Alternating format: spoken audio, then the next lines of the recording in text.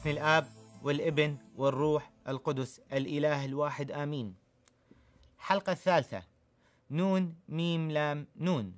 نحن مسيحيون لا نصارى. رسالة إلى داعش. سنتكلم اليوم يا أحباب الرب وأعزائي المشاهدين عن نون والنصارى. ومن هم النصارى؟ وما هو حرف نون؟ هو الحرف اللي يسلب به داعش بيوت المسيحيين كي يستولي عليها. أو يكون هذا البيت تابع لهم. أو يكون مهدور دم صاحب هذا البيت هو وأهل بيته. وهو أول حرف من كلمة نصارى.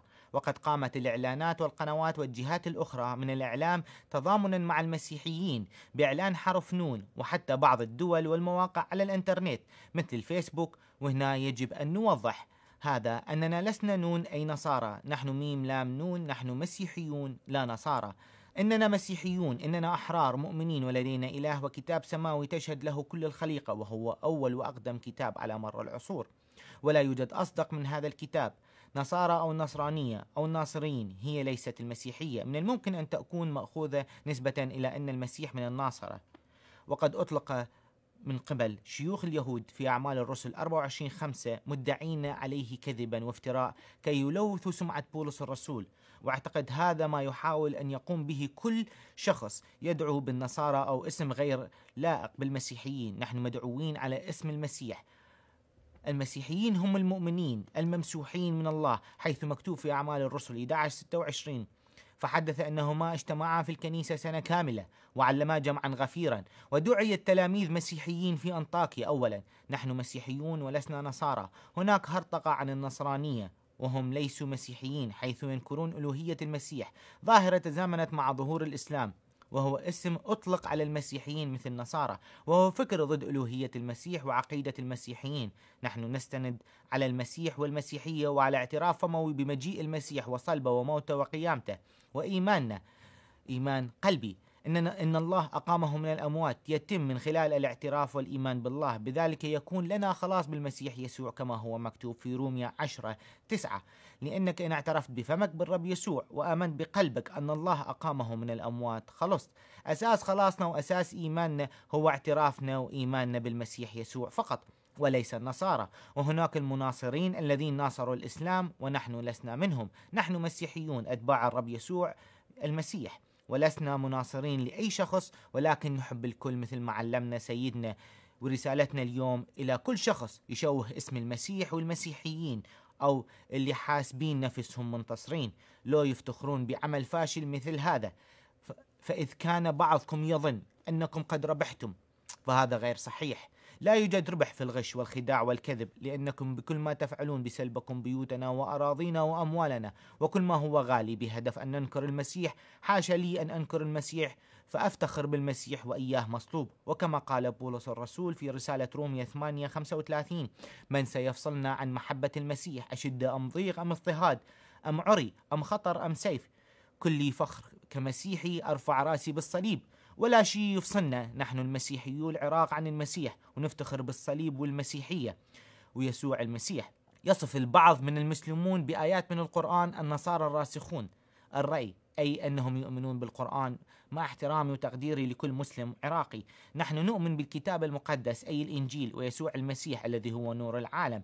لكن المسيح علمنا أن نحب الطرف الآخر مهما كان فكرة أو عقيدته ونحترم أفكارهم مو نتهجم عليهم أو نقتلهم. لم يقل المسيح اتبعوا من يأتي بعدي أو كونوا نصارى بل قال سيأتي بعدي من هم غير صادقين أي أنبياء كذبة. نحن لسنا نصارى هي فكرة أو هرطقة لا نعترف بها أو بمن يقول لنا هذا. لأنه بمفهوم ثاني أنت تتجاوز حدودك وتتعدى على معتقداتنا وإيماننا. وهنا وبس يكفي. لكل شيء أكو حدود إحنا إحنا نعرف أنت منو.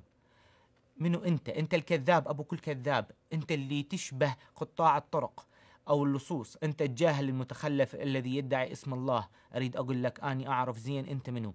أنت ابن الهلاك أنت الهالك. أدعوك أن تكون ابن ضال وترحم حالك قبل فوات الوقت. أنت ابن ماكو إلى مكان. أنت مسكين تايه حزين تبحث عن الرجاء وليس لك أي رجاء حتى فرح ما عندك. تركض وراء جهل وأكاذيب تركض وراء خيال. أنت مخدوع يا مسكين. المسيحيون هم الذين يؤمنون بكتاب المقدس موحى به من الله من السماء. وأن الكتاب المقدس هو كلمة الله وأن المسيح هو الكلمة هو الرب. ومات وصلب وقام وإيماننا مبني على الله. واحد. إله واحد. ونحن ندعو إلى وحدانية الله. من تيجي تحكي على المسيحيين اسأل وشوف منو هم. اسأل الناس يقولوا لك الأمانة والصدق والمحبة والسلام والفرح والعطاء. شيء أنت تفتقده ما عندك.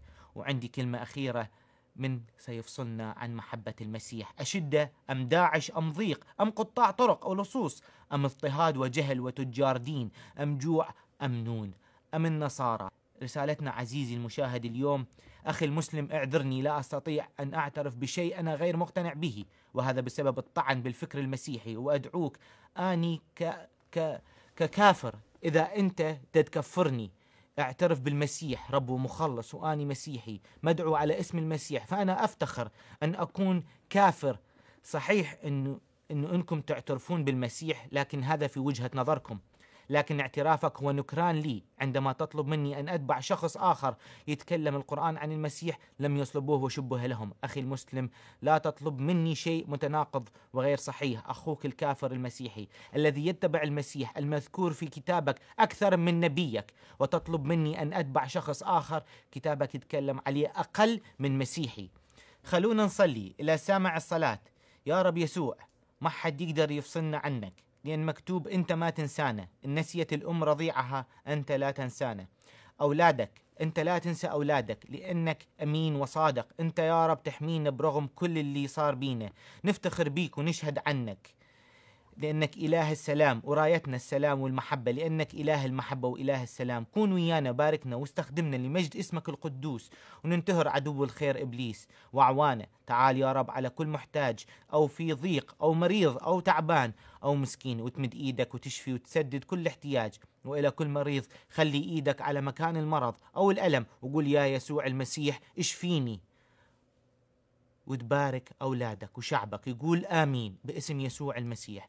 انتظرونا مع الحلقة القادمة. ستكون الحلقة الرابعة. أعطوا مال قيصر لقيصر ومال الله لله. لمن هذا الكلام؟ ولمن ستكون الرسالة؟ رب يبارككم وإلى اللقاء. سلام الرب معكم. بسم الآب والابن والروح القدس الإله الواحد. آمين. thank you